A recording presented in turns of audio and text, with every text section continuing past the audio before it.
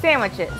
Food historians believe this portable meal was popularized in England in 1762 by John Montagu, the fourth Earl of Sandwich. Apparently, he ordered a cook to prepare an easy to eat meal so he could gamble freely.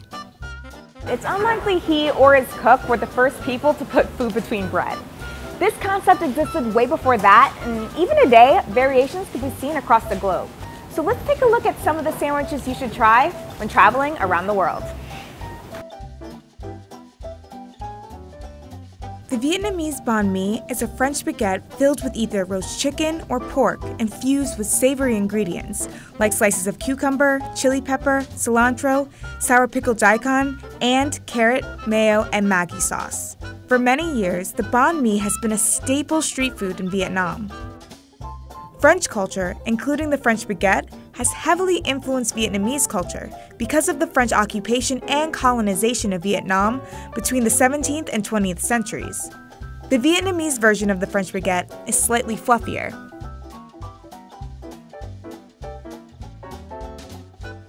Similar to Vietnam's banh mi, this Laotian sandwich also uses the French baguette. Khao Jee can be found on almost every street corner in Laos. It's filled with pork belly, ham, tomato, lettuce, carrots, cheese, and chili sauce.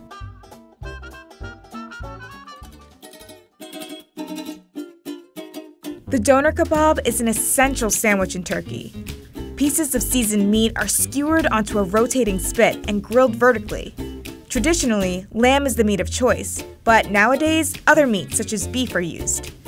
The meat is shaved from the spit and placed between bread, topped with grilled vegetables, sauces, cheese, and a dash of lemon juice.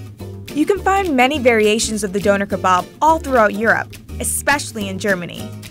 Berlin is filled with food stalls that sell the Turkish sandwiches. In the 1960s, Turkish citizens migrated to Germany as laborers. Turkish immigrant Kadir Nurman has been credited with creating the sandwich during the 1970s in Berlin, though it's likely that there was a similar concept that existed in Turkey as well. While its origins are a bit unclear, it's safe to say our love for the doner kebab is very clear, due to the fact that they're available worldwide. And since we're talking about love, this next sandwich is a personal favorite of mine, because I grew up eating it. If you enjoy roast pork, you have to try it in Cuban bread, which is like a crispy baguette.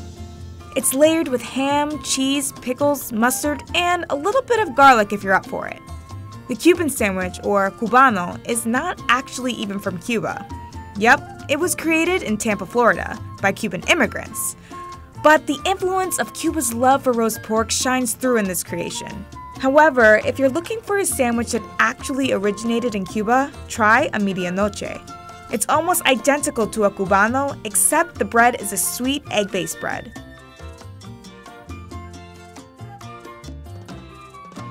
Japan's popular katsu sando is a must try. This sandwich is typically made with fried breaded pork cutlets, a few shreds of cabbage, and tonkatsu sauce tucked between two slices of Japanese milk bread.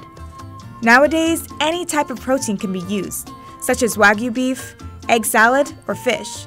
Mr. Katsu in Southern California serves a 17 layer version of the pork katsu sando.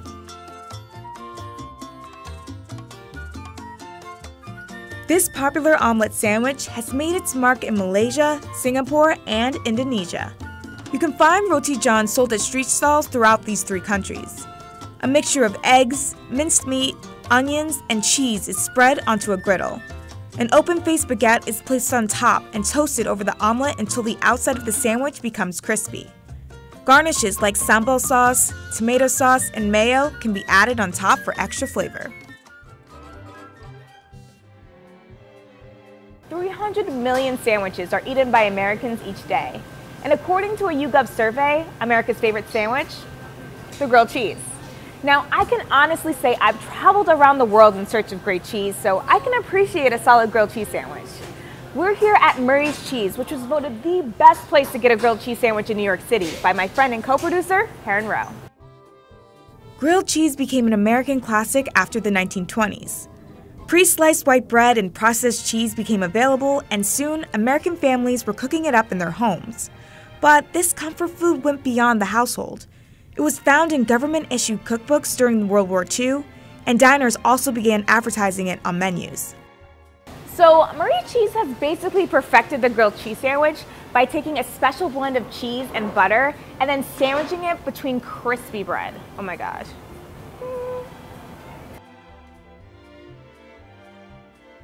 Calling all cheese lovers, this Brazilian sandwich is called Bauru. Slices of roast beef and melted cheese are tucked between a French roll along with tomatoes and pickles. China's steamed guabao is a traditional favorite. It originated in Fuzhou and became popular in Taiwan when Fujianese immigrants brought it over. A flat steamed bao is folded over braised pork with sweet peanuts and coriander leaves.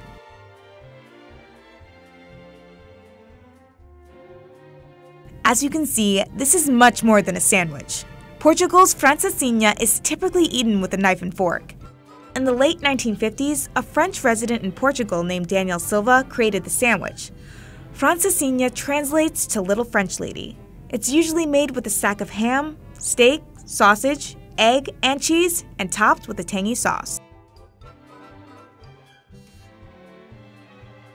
In Guyana, this sandwich is a party and road trip favorite. The quick recipe is ideal for any occasion, really. Cheese paste is more than just cheese between bread. Instead, sharp cheddar cheese is grated and mixed with butter, mayo, pepper, mustard, garlic, and pepper sauce. The creamy finish is spread between two slices of white bread. And since we're talking about spreads, India has a similar take. The chutney sandwich is a striking green or red spread laid between two slices of bread. For green chutney mix, use fresh cilantro and green chilies. Red chilies are used for the red spread.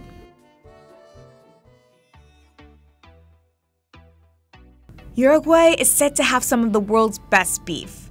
Chivito is a steak sandwich enjoyed all throughout the South American country. It's also Uruguay's national dish. According to legend, an Argentine tourist walked into a restaurant asking for a sandwich to be made with chivo, or baby goat. The chef didn't have any goat meat and instead grilled a thin piece of steak. Variations today include toppings like cheese, eggs, bacon, pepper, mayo, lettuce, and tomatoes. It's also popular in Argentina, where it's known as lomito. Uruguay enjoys steak sandwiches, and so does Chile.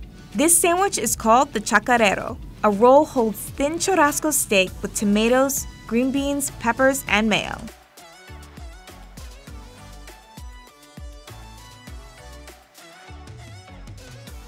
Senegal's ndambe is a spicy bean sandwich. Black eyed peas, which are really beans, are seasoned along with beef and spread between a baguette. Lentils are sometimes used instead. This type of sandwich is typically eaten for breakfast and is sold by street vendors all throughout Senegal.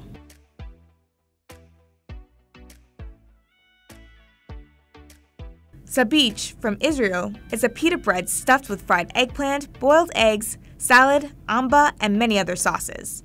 The sabich is actually an Iraqi Israeli hybrid.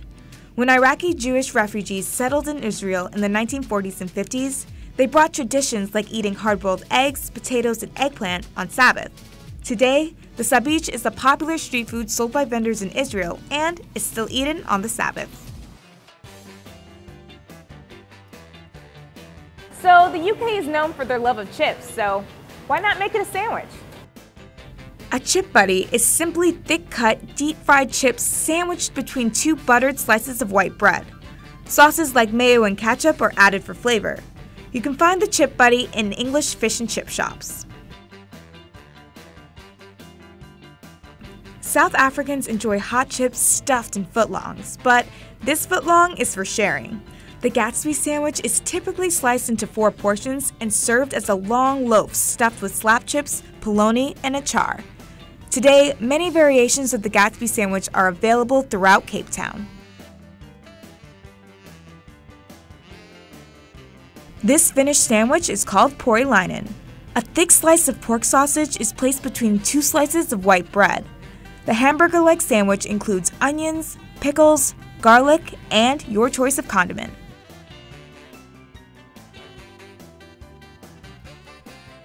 Eaten in both Venezuela and Colombia, the arepa is a cornmeal pocket that is grilled, fried, or baked, and filled with endless ingredients. Traditionally, arepas are cooked on flat griddles. They can be served with shredded meat like chicken or beef, or with soft white cheese.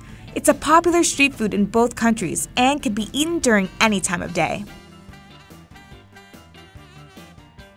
This Danish sandwich comes in many, many combinations. Smørrebrød is basically an open-faced sandwich. Its main ingredients include spreads like butter, cold meats, seafood, and scallions. It's typically garnished with lemon and herbs. It can probably get messy, so feel free to eat it with a knife and fork. Trinidad and Tobago's bake and shark is pretty iconic to the sister islands.